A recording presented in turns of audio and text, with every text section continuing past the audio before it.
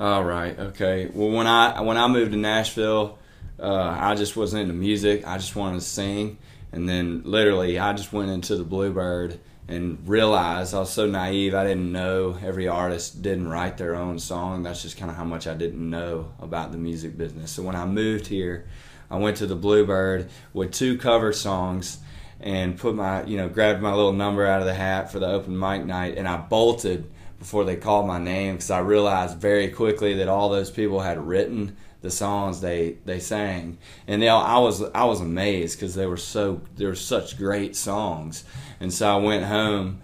That I remember going home to our apartment that night, wrote wrote a song. It was funny. It was terrible, you know, looking back. But then I went back to the Bluebird and sang it, and honestly, from then on, it was just an immediate love addiction. Haven't put a pen down since for about ten years. I mean, it was just it was like I just got the bug, and then I got a deal a year later uh, with Buddy Killen and just just was writing like a fool.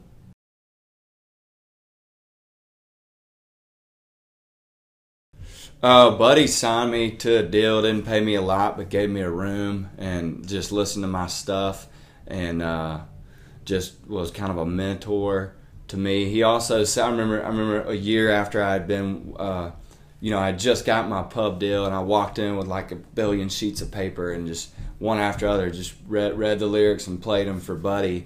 And he told me something that broke my heart um, because I was so excited. I had written hundred songs, and he and he said your first hundred songs won't matter to you, you know, in like a couple years. And at that point, I remember getting in the car and being like, oh god, like it felt like somebody had hit me in the gut and and the wind was knocked out of me because I had slaved, you know, over those those hundred th- songs, and I thought there were some really good gems, but now I couldn't tell you one song uh, that was in that batch, but it was a good lesson, and and uh, uh, and uh, kept, you know, it kind of it kind of asked me, hey, do you, do you want this bad enough to to write another hundred, you know, and see what they're like.